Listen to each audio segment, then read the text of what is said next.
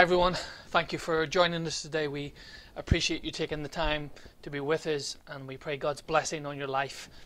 If there's any way that we can serve, support, and strengthen you, then please do get in contact with us. All our contact details will be on the stream.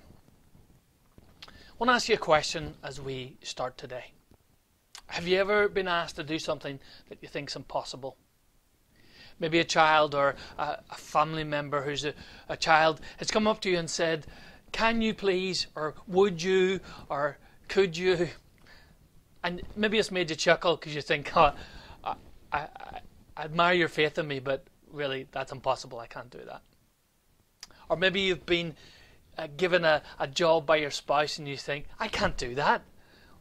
We're maybe going to have to pay to get someone to do that, or that's going to have to wait. I just can't do that. Or maybe even you think God has asked you to do something that you think's impossible. Well, if that's the case of any of our experience, then today's verse is really going to help you. Because in Philippians chapter 4, verse 6, Paul says something that for many people they will throw their hands up in the air and say, That's impossible. Paul says this Do not be anxious about anything, but in every situation, by prayer and petition, with thanksgiving, present your requests to God. Over the last couple of weeks, we've been thinking about the fact that there's more to life than anxiety, and we've used this little acrostic CAM to describe how we can experience God's presence in the midst of it.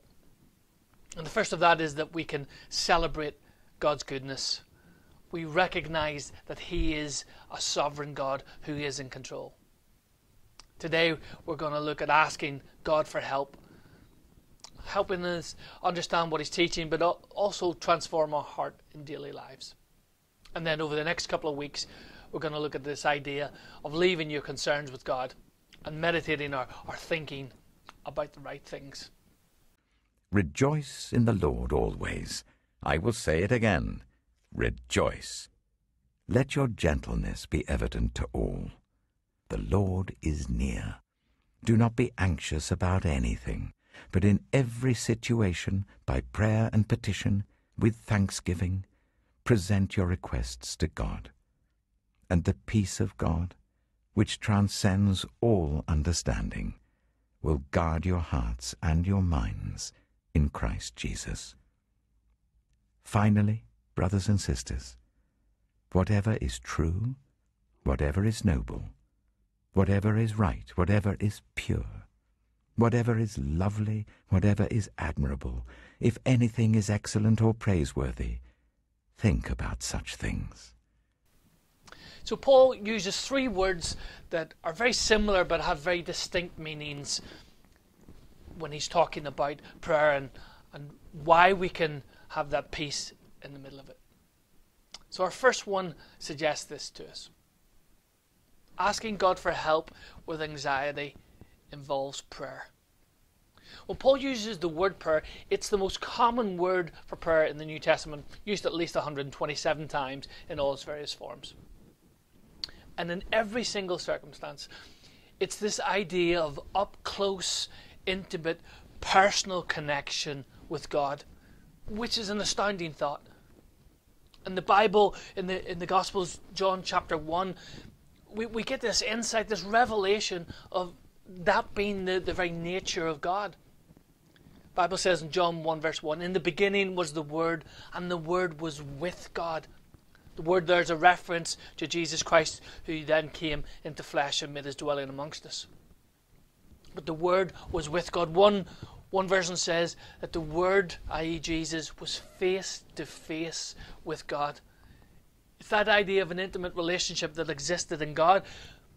And he also wants to, to show us and tell us that we can have that re- intimate relationship with God too part of the verse was, was used to de- depict a person with some kind of vow or a need or a desire to get a need met in his life. And, and that individual would, would vow to give something of great value to a god, to an idol, in exchange for an answer to prayer.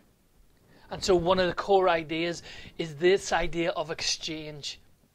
That as we give God our concerns and our anxieties and our worries, which may be real and they may be present, but we have this sense of exchange that God can come and give his, his peace.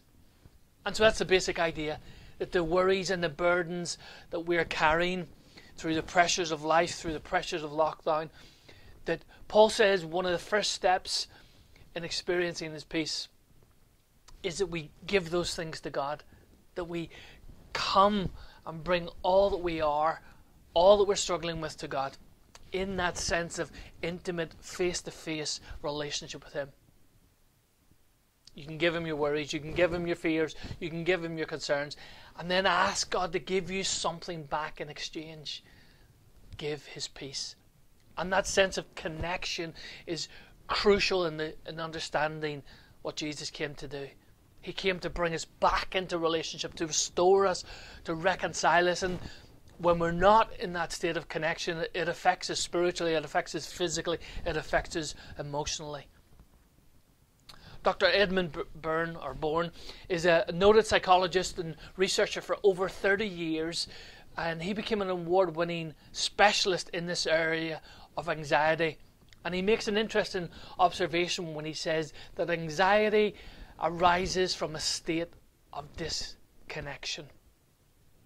I know pastorally that's true. I know relationally that's true. So, my encouragement to you, whatever stage you are in your relationship with God, wherever you are in your journey, that you listen to this advice, that you come and you bring things to God in prayer in that relationship. Second thing, second word that Paul says to us is that asking God for help with our anxiety involves petition. Now, we live in an age of online petition. I get requests for them regularly. You probably do too. And it can be very easy if we have a smartphone, a couple of little clicks, fill in a small amount of information, and we've added ourselves to a petition. That's not what Paul is talking about here. He's talking about someone who has some form of, of lack in his life and is, is pleading strongly for his need to be met. It, it's almost a place of desperation. It's a place where someone who, because of their great need, feels compelled to push against their pride, push it out of the way, and boldly, sincerely, strongly, passionately cry out for help. You may have had to do that in these in this last year. I know a lot of people have said as they've gone to food banks and other circumstances, they never thought they would have to ask for help in this way.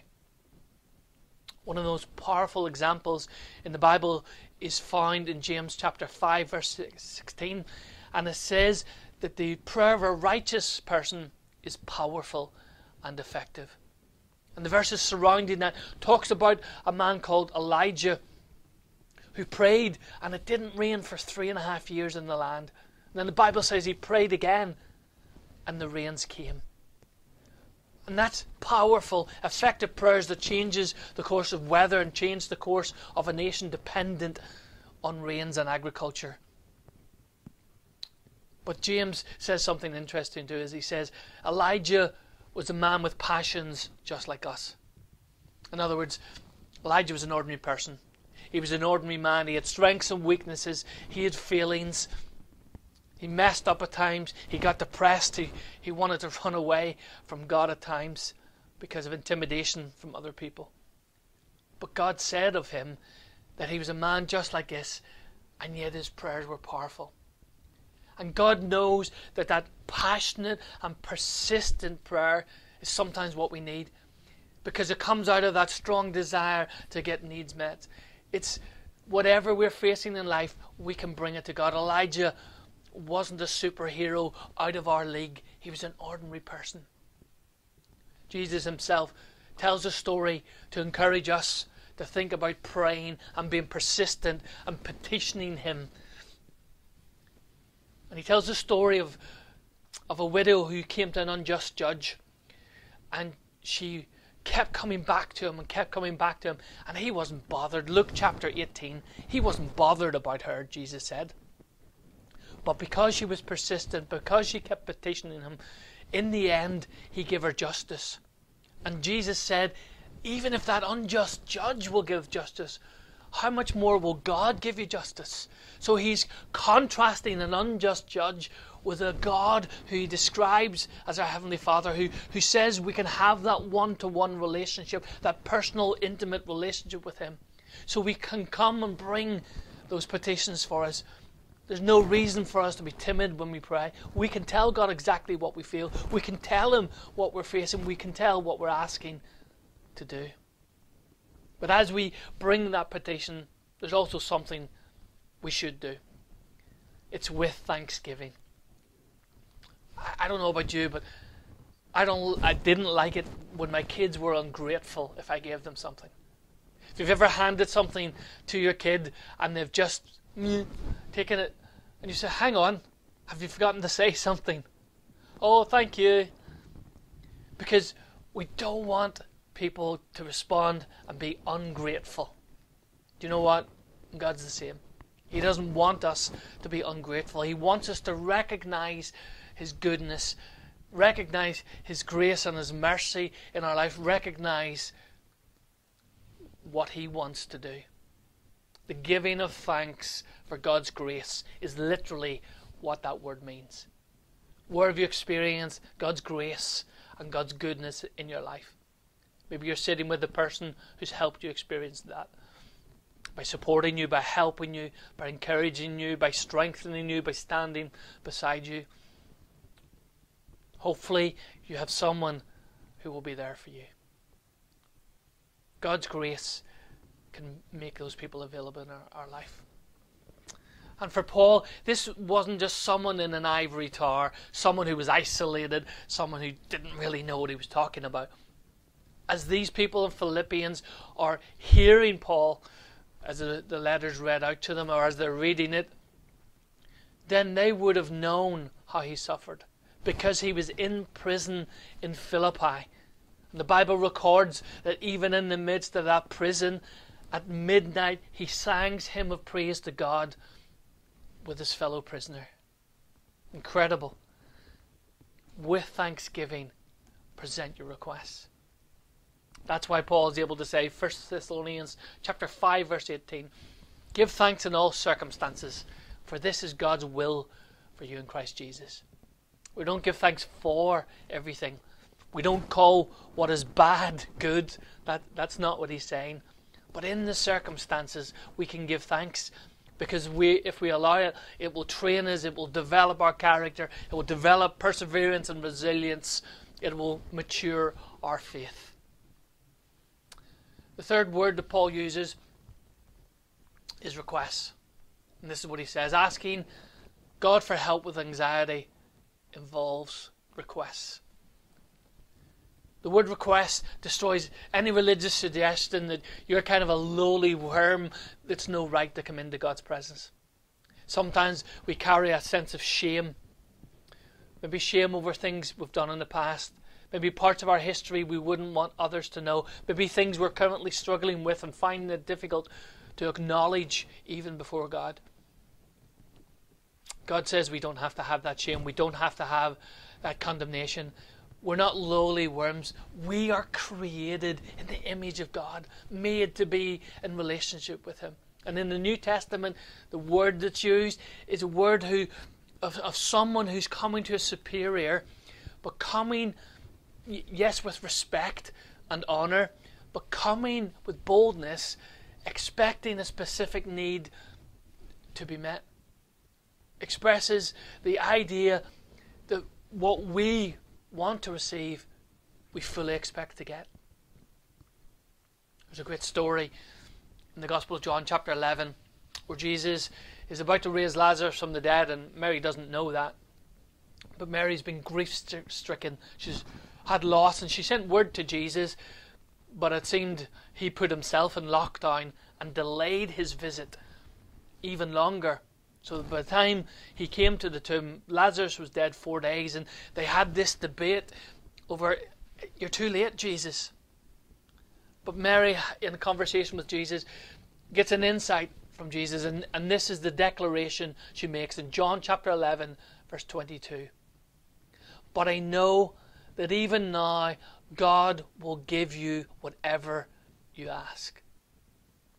What an incredible insight from Mary to know that when we bring a concern to God, we can have boldness, we can pray with authority. If our request is based on the Word of God and the will of God, we can have the assurance of God's promises. When we pray, it is appropriate for us to expect God to honor His Word. In fact, He says, Put me in remembrance of the things that I have promised. You see, we don't have to fall into a downward spiral of anxiety over difficult, difficult circumstances. They will come, and there will be challenging seasons. There will be times where we're tipped to move over from concern about a situation into anxiety. And one of the differences between concern and anxiety is what are we responsible for? See, there's some things we should be concerned about. I'm rightly concerned about my children, even though they're adults. But how they live their life isn't ultimately my responsibility. They make choices, they have to do things according to their circumstances and life choices. I can't worry about those things. I'm concerned, but I don't have to worry. So maybe you in your situation, with your circumstances, maybe you can pray a prayer something like this and bringing your prayers that close, intimate one to one with God. And bringing that petition that you may have to come back to God repeatedly. Say, Come on, God, I need you to help me. And maybe that sense of request, not because we're a lowly worm, but because we're made in the image of God. God is our Father who longs to show us grace in our life. So maybe a prayer something like this is appropriate for you.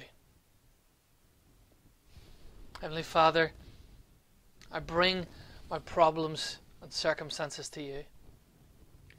The situation is beyond my control and influence, and I'm tempted to feel helpless.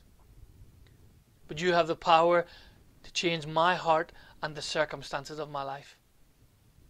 I know that you love me perfectly, and whatever you have planned for me is for my own good. Show me how to respond, and I will choose to obey you. I ask for you to show me your love, your wisdom, and your power. And I pray this in the name of Jesus.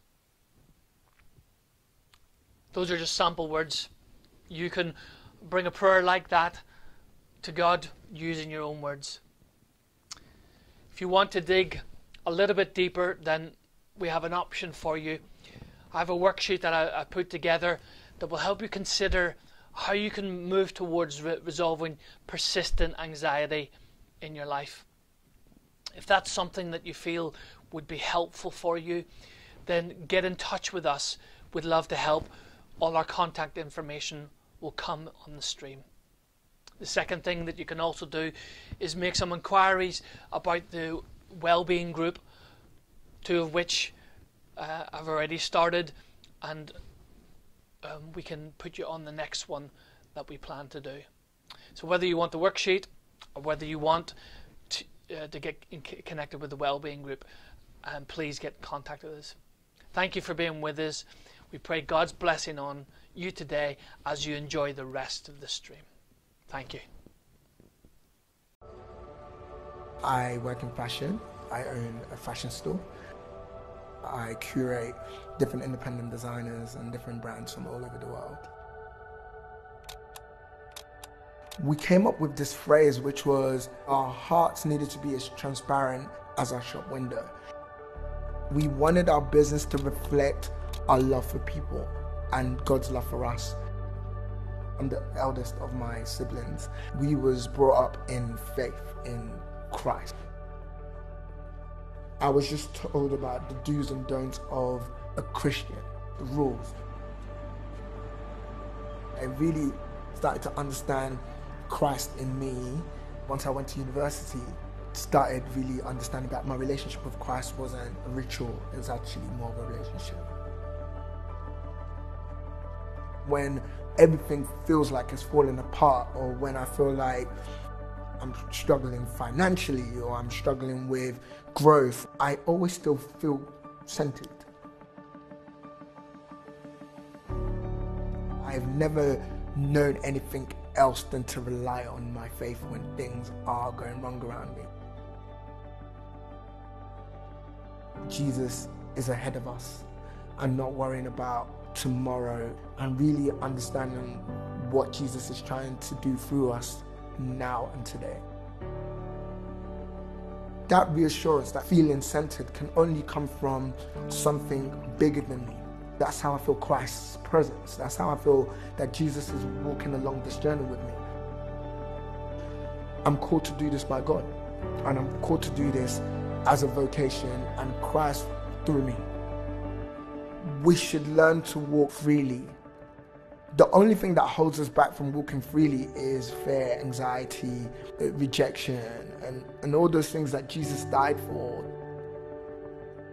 We should learn to align ourselves with our purpose, regardless of how fearful it looks, because God's love can hold us together.